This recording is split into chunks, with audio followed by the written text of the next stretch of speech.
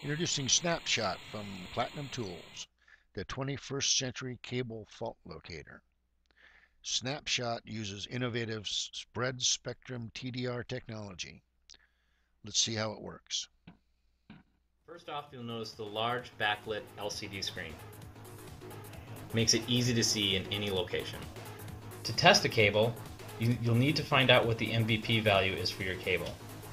If you don't have the MVP value, just look at the back of the snapshot, you'll find a cable listing type.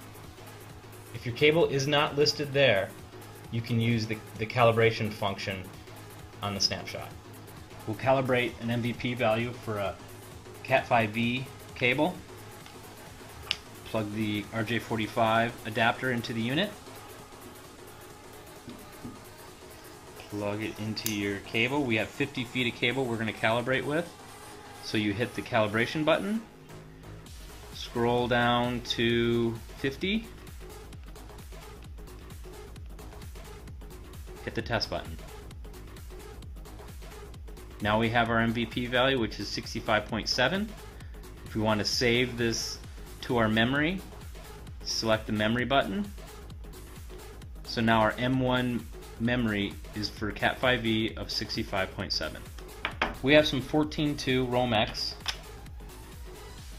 Plug it in, we have the right MVP value. Hit the test button. 102 feet. Next, let's test some RG6 coaxial cable. 500 feet. Let's test some Cat3 cable. Get our RJ45 adapter cable, plug it into the unit, connect to your Cat3. We have our MVP value. Hit test. 1,000 feet. Not only does the snapshot determine length to opens or breaks, it can determine length to shorts. Here's an example of that. We'll take some RG6, plug it into the unit, hit the test button, 100.2 feet to a short. The snapshot comes with everything you need to test. Push on F to alligator clip, BNC to alligator clip, push on F to RJ45, and an F to BNC and a F81 coupler.